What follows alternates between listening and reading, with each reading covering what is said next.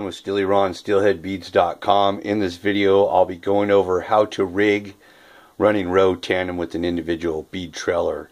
Um, it's pretty simple. I do have a bunch of videos set up at my site, SteelyRon, SteelheadBeads.com. If you're here now, it's in my video library.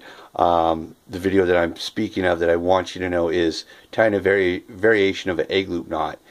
In this video, I do show you how to run two hooks tandem on a leader, which pretty much a tandem leader running roe and a bead is the same exact leader except for in between both hooks you have a single bead. Let's go ahead and pull out the leader and show you what we're talking about. There's an individual bead trailer with the upper hook. This is a tandem hook assembly.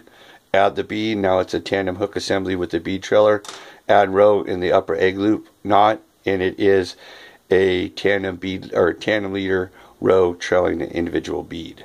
So in this in this presentation we're going to be using just yarn for roe. No need to get sticky and smelly and get our wives upset. So we're just going to use this yarn as roe today.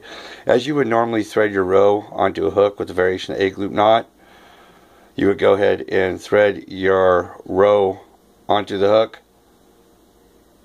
then on the back of the hook, where the loop of the egg, uh, where the loop of the egg loop knot is attached to the hook and the loop has been opened, we will go ahead and thread the roe through and cinch it down with the variation egg loop knot. Now your roe has been hooked and secured through the egg loop knot and it's trailing an individual bead trailer below. Now we put this video here or together here today just for you roe fishermen that aren't familiar with bead fishing and want to go ahead and make that transition and don't want to give up that roe right away, go ahead and add that roe on that upper hook. Don't don't allow it uh, to affect the sway of the bead by putting it on the outside. Always put it on the interior hook, but go ahead and do so. Add that roe there, trail that bead. I guarantee you, we will make a bead fisherman out of you. This will make you a believer. Hey, hope that helps your success.